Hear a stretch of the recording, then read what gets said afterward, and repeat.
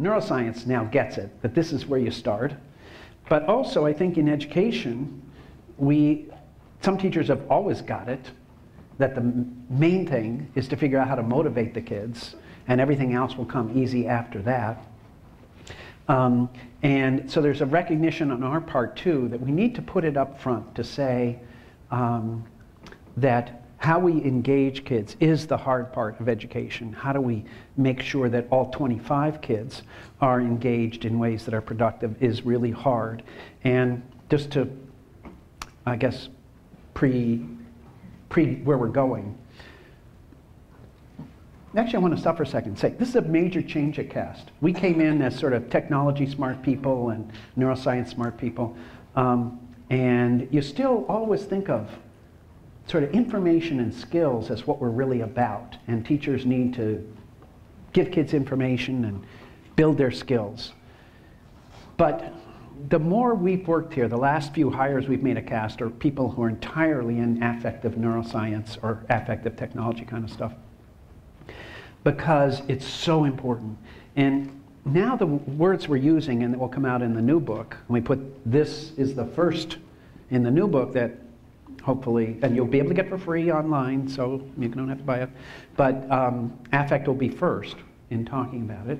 And um, we'll use the, the following term, which is really making sense to all of us a lot, which is that the hardest part of teaching is the emotional work. And um, um, I'm just trying to think whether I'll be able to say this later. So I, I, I want to say it now, I think. That people think of it as intellectual work and as um, apprentice kind of skill development work. But the hardest part is the emotional work. And that is how do I engage my students? Meaning, how do I understand what they're going through? How do I know what's hard enough and not too hard? What's, why is Billy obviously not engaged? Why is he looking sad today? What's gone wrong? These things are what this part of our nervous system does, and it's very consuming. And uh, I want to say some experiments that happened in psychiatry, but they would absolutely pertain in education. In psychiatry, they did studies of people who were treating trauma victims uh, psychiatrists who were seeing people who came from the worst uh, situations rapes, murders, uh, the whole cultural, um, what's the word for that when you wipe out a whole culture? Um, what is it?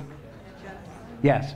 Um, that this is the, the worst of it. And when they measured them physiologically, and you know what's happening? That they were mirroring, and we'll talk about how they do that, probably not till tomorrow, they were mirroring the bad events that had happened to their patients. And what it meant was that they were feeling them inside their own brain, mirroring, meaning, I'm feeling it too. And that that requires a tremendous amount of energy and commitment from the nervous system because it is really replaying the rape, replaying the murder of a child, all of that. And the brain is really doing it the only way you can empathize with someone is to essentially replay it have, and feel the affect. So when they measure them, they'd see that, oh my God, they're going through it. Sorry, the good psychiatrists were going through it. And by the end of the day, they were completely exhausted. And what they found out was that they quickly became bad psychiatrists because they were replete. They had run out of the capacity to do this emotional work and they had to send them away on leave. And now in the Army, when they're having these trauma things, they're making a lot of leaves for psychiatrists, not like three months from now, but every few days, because they can't keep doing that level of emotional work. And what they do is they become non-empathizers, because they're out of it, they're out of it. They're not able to do it. So I like to say, and I think it's absolutely true, that that's why teachers need summer vacations. Because if you're good at your job, you are doing emotional work, and it is draining. And I remember when I taught Head Start, you know, the content was not hard. I knew my colors, I knew my numbers. This was, it was intellectually not demanding, but it was emotionally very demanding because every kid was vulnerable in some way. And I was hospitalized at the end of a summer of Head Start because I kept trying to go without, you know, a break. And now I know if they'd measured me, they would have realized, oh my God, it's not the intellectual challenge of this job. He's emotionally spent. He's out of any more energy that he can put to this task. And that's why, you know, I think, I know that there's an agrarian reason why you need summer off so you can bring in the hay. But in fact, I think you need the summer to restore your affective resources because this is a hard job. Now, some of you don't because you're bad teachers. I don't know if you're here. In which case, you know, you should work all summer. But if we if we measured you and said, you know what, this is a teacher that's been doing emotional work, then nine months is probably as much as you could do. And you need to take a break, restore yourself, go to Lake Louise with me and Ruth, you know, and enjoy yourselves. Okay. Um, so um, let's talk about this very important part of the brain with which you do emotional work. Um, center parts of the brain, what it does, it monitors the internal and external environment to set priorities and to motivate learning and behavior. All right? What does it mean to monitor the internal?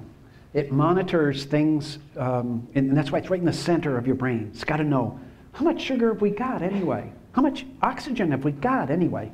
So you have sensors that aren't, you know, looking at the, uh, the Eiffel Tower and that picture. They're looking inside your body to say, where are we? Where are we as a surviving organism? Do we have what we need to survive? So that's happening here down the hypothalamus. You've probably heard about this. So it's literally measuring nutrients, all that kind of stuff to say, have we got enough so that you can survive and propagate? Okay? And uh, so it's measuring the internal environment.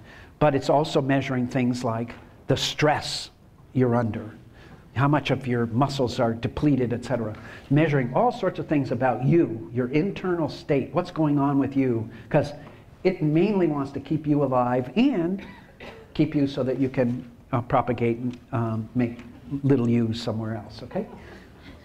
Um, and it also, though, monitors the external environment to say, okay, you need food like crazy. It's not a, you, you need food.